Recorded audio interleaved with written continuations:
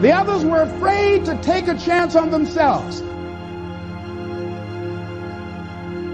The others couldn't see themselves beyond that company. They couldn't see life after that company. The same reason that people stay in relationships where they're abused or they're unhappy or it's unfulfilling, they can't see themselves beyond that relationship. They can't see themselves enjoying life without that person. They think that this is all that they can do. The same reason that people get stuck at a certain level in life. They can't see things being better for them. And they think that this is it and this is all they deserve. This is all they've ever seen. It's been passed on to them. And they think that this is it for them. Oh no.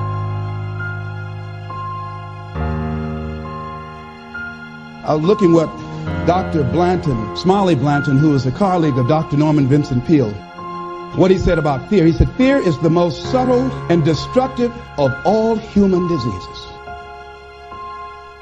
Ladies and gentlemen, fear kills dreams. Fear kills hope. Fear put people in the hospital. Fear can aid you. Fear, ladies and gentlemen, can hold you back from doing something that you know within yourself that you're capable of doing, but it will paralyze you. And it seemed like you're in a hypnotic spell. And I ask you a question, what is the benefit? What's the benefit of allowing fear to hold you back?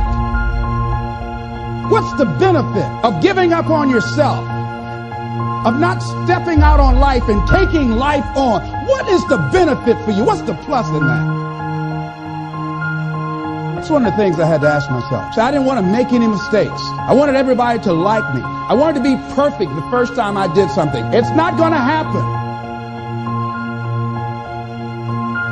You're going to make some mistakes. You're going to hurt some folks' feelings. You're going to create some enemies whenever you decide that you want to begin to take life on.